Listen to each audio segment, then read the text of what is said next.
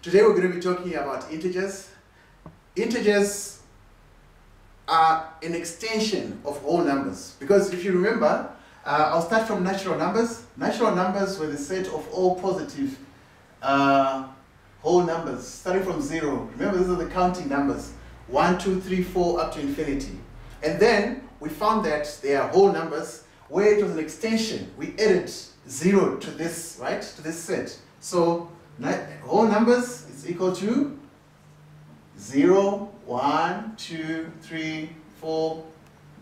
Remember, if anyone is to ask you, what is the difference between natural numbers and whole numbers?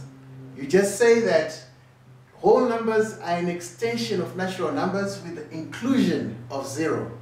That is precise. Then, now let's look at integers. Integers are denoted by the letter Z. Now, this is an extension of, of whole numbers. Where we're saying now, let us include the negative side.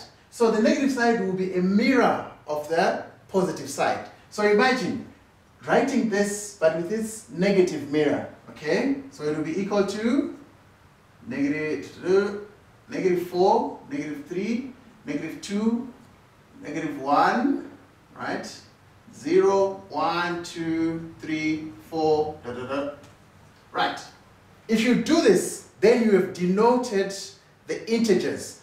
These are the negative integers, these are the positive integers, and 0 is neither positive nor negative. It's neutral. So think of it as joining the negative whole numbers, the positive, and 0.